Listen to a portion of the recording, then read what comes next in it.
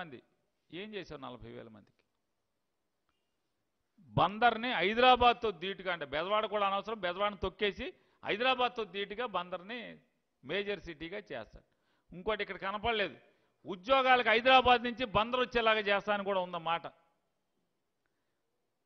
ఉద్యోగాల కోసం రెండు వేల పద్నాలుగు తర్వాత ఉద్యోగాలు ఎవరన్నా కావాలంటే హైదరాబాద్ నుంచి బందర్ వచ్చి ఉద్యోగాలు చేసేదానికి తయారు చేస్తా అని చెప్పాడు. ఇంతకన్నా పిట్టల ద్వారా మనకి ఎవడన్నా దొరుకుతాడా? ఇంతకన్నా పచ్చి రాజకీయ మోసగాడు ఎవడన్నా మనకుంటాడా? ఇవాళ పోర్టు మే రెండో వారం కానీ మూడో వారంలో కానీ అది డేటు నాదే ఆలస్యం. ముహూర్తం కోసం వెయిట్ చేస్తున్నాం. మూడో తారీఖు పెట్టుకుంటే వైజాగ్ డేటా సెంటర్ ఏదో శంకుస్థాపన చేస్తాకి సీఎం గారు ఒప్పుకున్నారని చెప్పని దానికోసం అని చెప్పిన ఆగం లేకపోతే మూడో తారీఖు చేయాల్సినటువంటి మాది. అయితే రెండో వారంలో మంచి ముహూర్తం అటు చూసుకుంటున్నాం. పదిహేడు వేసి పదిహేడు సంవత్సరాలు బందర్ ప్రజలను ఎదురు చూసాం. కృష్ణా జిల్లా వాసులందరం కూడా ఎదురు చూసాం కాబట్టి సాంప్రదాయంగా ఒక మంచి ముహూర్తం కోసం చూస్తున్నాం. అది రెండో వారం మూడో వారంలో జగన్ గారు మచిలీపట్నం వచ్చి పోర్టు పనులు ప్రారంభోత్సవం చేస్తారు. రొయ్యల పరిశ్రమ లేదు. వ్యవసాయాధారిత పరిశ్రమ లేదు. ఐటీ లేదు. రేపల్లె రైల్వే లైన్ లేదు. ఇవాళ మచిలీపట్నంలో చంద్రబాబు నాయుడు మోసం చేస్తే జగన్మోహన్ రెడ్డి గారు ఇరవై తొమ్మిది వేల మందికి ఒక మచిలీపట్నం మున్సిపాలిటీలో పంతొమ్మిది వేల చిల్లర మందికి ఇళ్ళ స్థలాలు ఇచ్చారు. పంతొమ్మిది వేల చిల్లర మందికి ఇళ్ళ స్థలాలు ఇస్తే గ్రామాల్లో ఒక ఆరు వేల చిల్లర మందికి సుమారుగా ఇరవై ఐదు వేల చిల్లర మందికి ఇళ్ళ స్థల కొత్తగా ఇళ్ళ స్థలాలు ఇచ్చి లక్షా ఎనభై వేల రూపాయల చొప్పున ఇల్లు కట్టుకుంటాక ఆర్థిక సాయాన్ని ఇచ్చి కార్యక్రమాలు చేస్తున్నారు. జగన్మోహన్ రెడ్డి గారు ఎన్నికల ముందు చెప్పారు గోల్డ్ కవరింగ్ గోల్డ్ కవరింగ్ పరిశ్రమని ఆదుకుంటానని.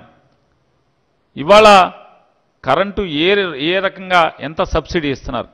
ఎన్ని వేల రూపాయలు ఒక గోల్డ్ పరి గోల్డ్ కవరింగ్ పరిశ్రమకి ఎంత ఆదా అవుతుందో? ఇవాళ ఏ గోల్డ్ కవరింగ్ పరిశ్రమ? ఓటేశారా? ఓటేలే కాదు. మన ఆదరించారా? ఆదరించలేదా కాదు. ఇవాళ గోల్డ్ కవరింగ్ పరిశ్రమను ఎవరన్నా గుండె నిజాయితీగా బంద్ వచ్చి మీరు ఎవరినన్నా అడగండి. ఆదుకున్నది జగన్మోహన్ రెడ్డి కాదా? అవునా అనేది మీరు చెప్పండి. కరెంటుకి ఏ రకంగా ఆయన సబ్సిడీ ఇచ్చాడు?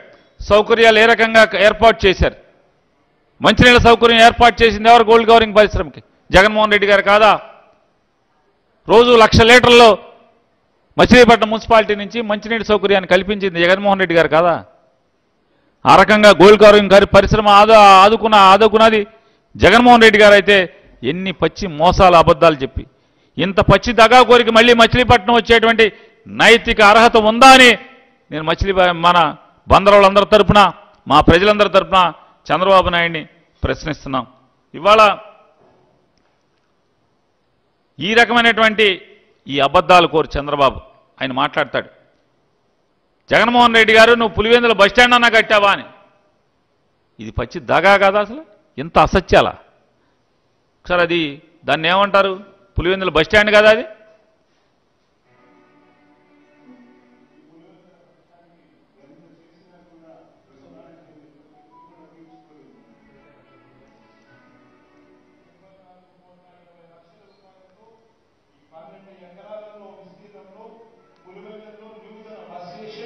మరియు డిపో కూడా ఇక్కడే ఏర్పాటు చేస్తా ఉన్నాం ఇది కూడా సగర్వంగా కూడా ఈ సందర్భంగా తెలియజేస్తా ఉన్నాం. కొత్త పనులు ముప్పై నాలుగు కోట్ల రూపాయలతో చేపట్టాం. పన్నెండు ఎకరాలతో కడతా ఉన్నాం. వచ్చే ఏడాది చేపట్టడానికి ఆ పనులు కూడా పూర్తవుతాయి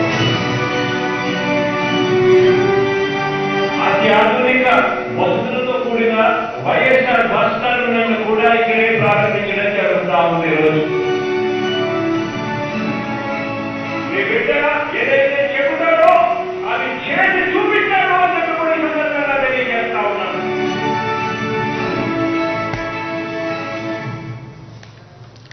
ఇది ఈ తంతు